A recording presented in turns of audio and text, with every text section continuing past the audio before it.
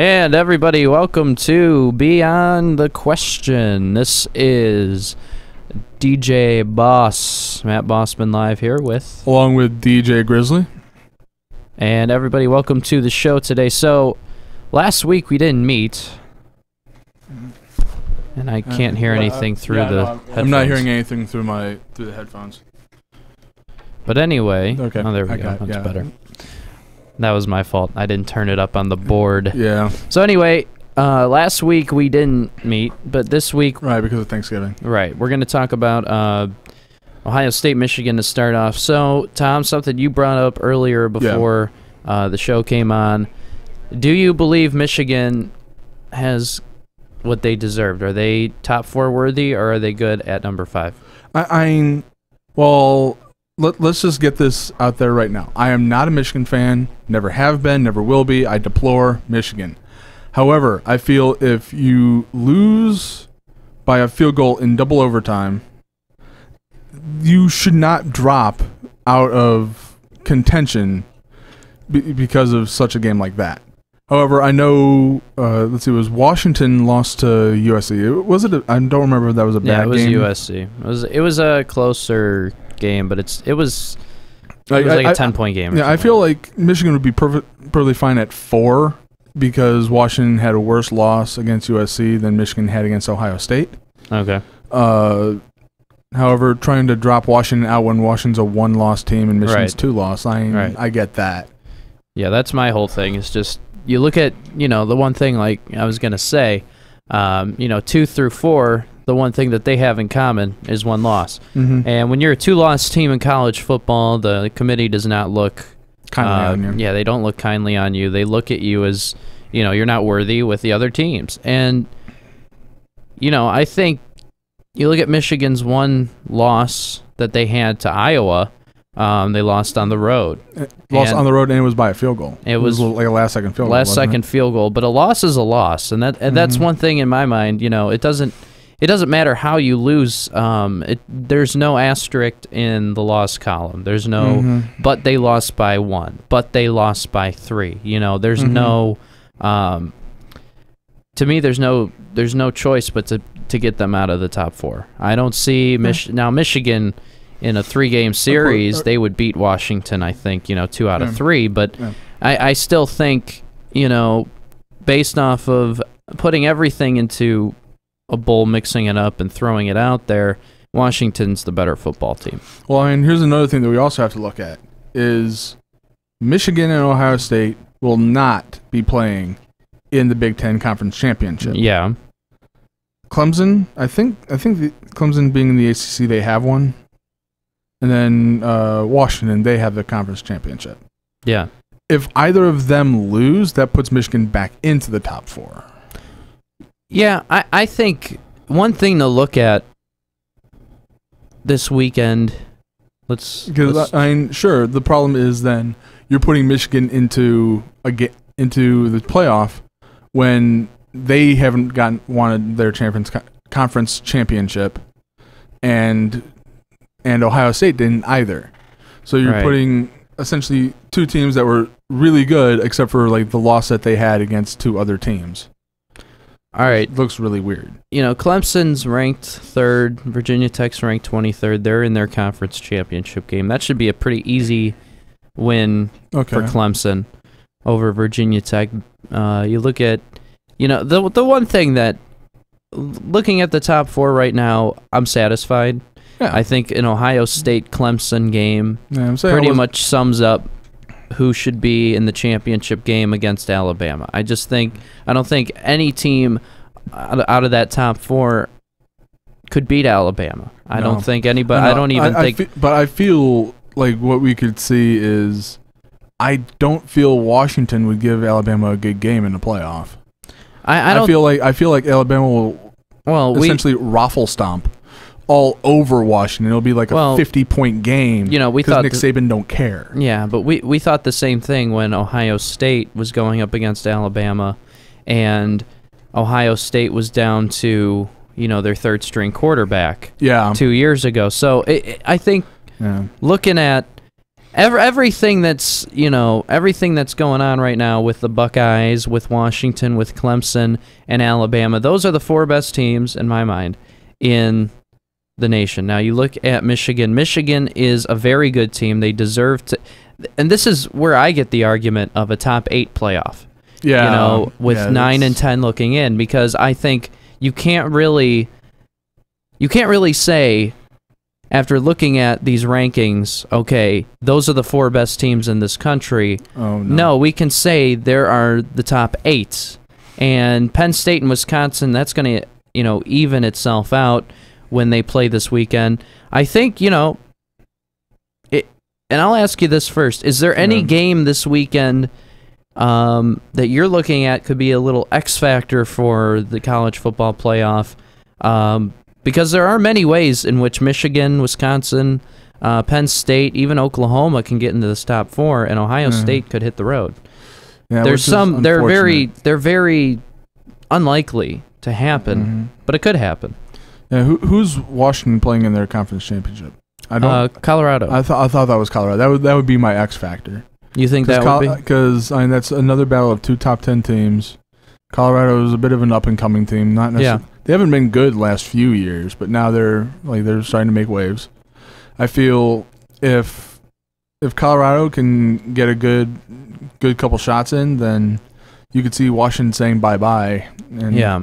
I don't see Colorado jumping necessarily any of those other teams, like in that top eight. Okay. But Now. Okay. Go ahead. uh, but I, I mean that that's easily. I would say aside from the Wisconsin Penn State game, that like that would probably be the best game. All right. So looking at this, uh, another thing that I wanted to uh, kind of get out there is that looking at the Big Ten championship game, Mhm. number six Wisconsin, number eight Penn State. Would you take a two-loss Michigan team or the Big Ten champion if it gets down to that point? Who gets into the top four? Oh God, I don't want to make that decision. I do. I know, I know. Like that's. I. F- uh, I'm, Here- here, not, I'll- I'm not happy about that decision at all. I, I feel if Wisconsin wins, Yeah.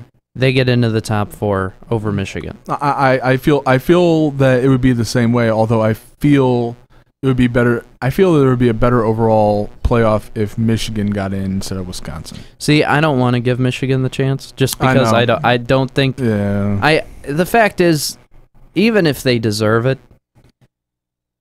it would be weird to see the conference championship getting you know pushed to the side. yeah. I know that doesn't sound good at all. It doesn't. It really doesn't sound good. It sounds um, unfair in a lot of sense. But Yeah. you know, college football, the rankings, you know, they try to come up with this top four thing to be as fair as possible to get the right teams uh, in the right positions. Mm-hmm. Do you think it's been working? Well, uh, let's let's be honest. For the last few years, it has been working. Yeah, I think so. Like because after what happened with Ohio State being Alabama four being a one, that that helped. The Yeah. whole idea of a four-team playoff was a good idea. But now that we're seeing more teams that are cropping up, teams like the Wisconsins, the Penn States, Oklahoma, Colorado, uh, and th- they're conference champions, but they could be just not even looking in at the this playoff. right, right. And like if Colorado were to, were to beat Washington and then not get, you know, into that playoff, that, that would be it would be it would be weird. yeah, it, it would be. I, I think. Um, I think it's you're right. also it's also weird to me that I that Alabama would be the only SEC team to make the playoff. Cuz there's been a few times where you just see more SEC teams. yeah, but I, I think this year it's been the SEC has been one of the weakest conferences in college football. Thankfully, Um, oh yeah, I'm tired and- of people talking up the SEC. Yeah, I am and, and you you don't hear about them anymore. They don't have you know no one uh, really cares about the SEC game of the week because it's you know like, oh look, it's Alabama winning again. right. It, it's not a big deal anymore. The SEC has lost its recruiting. It's they lost um, their coaching ability. Other than outside Nick of Nick Saban, yeah. outside of Nick Saban, really, there's no other team in the SEC that's Um, there's, a, a there's a, great bunch team. of yeah, there's a bunch of turnover in the SEC now, I think the way and also it's they're kind of. And you could also say the same thing about the Big Ten about how it's getting getting watered down by them adding so many teams. right, Like there was no reason that the Big Ten should have added Maryland and Rutgers. Maryland and Rutgers aren't necessarily football powerhouses, right, and I, mean, I could see them being like you know uh, like Maryland and Rutgers in the past have been basketball teams, Yeah. basketball teams, but I don't necessarily see them being good football teams, which is what you generally try to recruit for if you're going for uh, trying to expand conferences. That's Right, what I've always right. seen. right. Mhm. Um, so I'm gonna make a bold prediction Okay. this weekend, and I'm going to say Florida upsets Alabama. Um, I think we've seen this matchup too many years in the SEC championship game, and uh, it's been close, even with Tebow there and all that. But I, I really do believe this year um, Alabama needs to slip up at a certain time, and what a better time to no. shake up everything if Uh, Alabama were to lose to Florida, and that makes way mm, for Michigan and Wisconsin and Penn State yeah, and. Colorado and Oklahoma to get even the whole top 10 could make an argument of getting into the playoff Yeah. and Ohio State would then move to number 1 which would be Would that- fantastic. Ohio State would move to number one without ever winning the conference championship, which would be. I think that was my. yeah, yeah, usually that happens to me. Um Uh, okay, whatever. Uh, it's talking about fantasy fa- football. So. um, now looking at uh, um some of the other games going on, you have the MAC championship game Western Michigan and Ohio. You have Colorado Washington in the Pac uh what is it the Pac 12 now? Pac 10, Pac 12, right? Hmm. Wait, what now? It's Sorry. the Pac 12 or the Pac 10? It's Pac-12. Pac 12. Um, that game is 9 o'clock on Friday on Fox. Uh, Temple and Navy in the American Athletic Conference championship game. Now, I read an article the other day that, that was saying if Navy wins this game, uh, It could shake up. Yeah. All of, uh, like all of the bowl game things, it I'm, I'm would- not sure why. I, I, I didn't. Actually, I saw it, but I didn't read the. because they're a the conference is still considered a top conference, a power conference. oh, and every the power conference- used to be. Yeah. Okay. and every power conference gets into um, a major bowl game. Yeah. So that could knock out somebody like USC from getting into the Rose Bowl or something like that. Ooh. Um, Ooh. not getting into the Rose Bowl, but I think the winner of Colorado and Washington, I mean, uh, I, I, I, but maybe is, would- loser of that game gets into the Rose Bowl. I don't know. I would, I would think that I I would love the story of like a like if Navy winning they get into a major bowl game. I would love that. Yeah, that'd be pretty cool. That's that would be an amazing story. Just like you know, just our our military forces are showing that they've got what it takes to play a whole bunch of really good football, Yeah. and that Yeah, that would they're actually they're be pretty getting, cool. like, oh look, the Navy is going to be in the Rose Bowl. I would love that. That that would be an amazing story, and I think ESPN would eat that up. Yeah, and so let's uh, listen to what. Oh, here's the article right here. Um, Okay. Just So apparently, Navy's hosting Temple on Saturday for the American Athletic Conference title game, okay. and uh, so one thing is they're saying they're kind of rooting against Navy in a way because they kind of have everything based. I guess it's set already because if certain teams win, they know what's going to happen, what bowl Mhm. they're going to go to. Yeah. If Navy wins, everything has to go back to square one, and um, they get a Cotton Bowl bid Cotton Bowl. Okay. if they win. So I don't remember who the Cotton Bowl is supposed to be against. That would be what an SEC team. I- it was ei- It's either an SEC team that gets knocked out or an ACC team that gets knocked out. I think. let's see here. I'd love to go to the Cotton Bowl. Yeah. So let's see here. Cotton Bowl. Do they have a website? Yes, they do. Yeah. Um, so the Cotton Bowl is between. Yeah. Yeah. It's it's vague on what it is. Or is it supposed to be SEC versus Big Ten, uh, Big Twelve?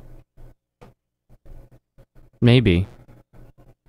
I, I I feel like Cotton Bowl has to be an SEC team of some sort. Much like the Orange Bowl. I think the Orange Bowl is SEC versus ACC. And then you have Cotton Bowl, which is All right, so it's uh, at large or group of five committee selection. Okay. So it's not really between two certain teams or two two certain conferences. It's between uh Hmm. it's between that. So here's how it is this year, the New Year's Six, the bowl games. The Rose Bowl um, is between the Pac-12 and the Big Ten. The Mhm. Sugar Bowl is the between champions, right? Yeah. Rose Bowl. the Big 12 and the SEC. Uh, Cotton Bowl is between the ACC against the Big Ten, the SEC or Notre Dame. Well, Notre Dame sucks this year, so they're not going to be in it. Uh, Uh, Goodyear, the Cotton Bowl, um, two at-large teams, okay. and then the Chick-fil-A Peach Bowl and the PlayStation Fiesta Bowl. That's great. Goodness. Um, yeah, let, us commercialize everything. Yeah, please. exactly. Let's put a commercial. Gosh, it's terrible. Yeah. It wasn't at the Tostitos Fiesta Bowl like three years ago. Then it went to the Vizio. Then it went to Battle uh, Frogs. Uh, ba- Battle Frogs last year. Yeah. Battle Frog. I mean, what what's going? Does Arizona like just keep changing every year? Because that's where the game's at, Yeah, University of. Phoenix Stadium. So which is which is another commercialization. University of Phoenix. Stadium. look at that. Look at that logo. The PlayStation Yeah. Fiesta Bowl. At least I It's at least I know what PlayStation is. I didn't. I had no idea what Battle. Yeah, I had no idea what Battle Frog was. And that's the game that if Ohio, if Alabama and Ohio State are in the same positions that they were in uh, going into the playoff, like now Mhm. into next week, um, they would play Clemson in the in the PlayStation Fiesta Bowl Hmm. in the national semifinal. So we're in that game, Okay. which which will be kind of funny. I mean, otherwise, I think the Fiesta Bowl beforehand was supposed to be the second place of the Big Ten versus second place of the Pac-12. Which yeah, if- something like that. If we look at like if I, I think that would have to be like a Penn State versus Colorado, which would be a weird Fiesta Bowl game. I mean, it, it would be watchable. The Peach Bowl is gonna be is gonna be the. I think that's the yeah, it's the national semifinal this year, and then uh, the college football playoff national championship. Where's that at? Isn't it in Tampa Bay this year? The inaugural game was held won by Ohio State. Ha ha ha. Yeah, yeah. Um, Anywho, yeah. All right, we're gonna take a break. When we come back, there's more coming up on Beyond Question.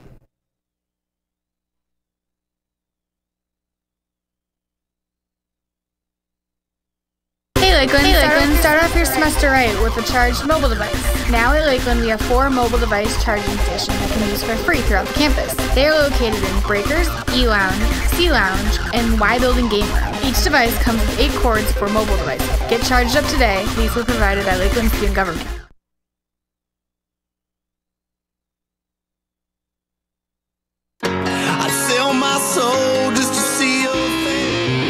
Like what you hear? Check us out live at livestream.com forward slash lake effect. Lakeland Community College. Opportunity starts here. Opportunity to be successful in a high demand career. Opportunity to earn a degree and transfer credits to a four year college or university. From your first class to your graduation, Lakeland will help you every step of the way. You're ready. All you need is an opportunity. And opportunity starts at Lakeland.